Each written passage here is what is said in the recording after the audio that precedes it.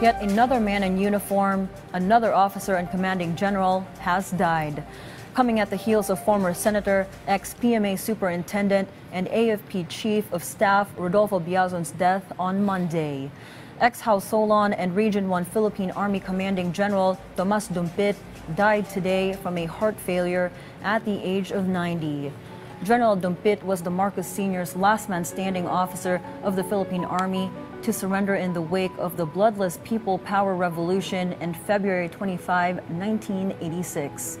A book about him entitled The Heart of the General has been published and in circulation for those interested to delve deeper into his life story.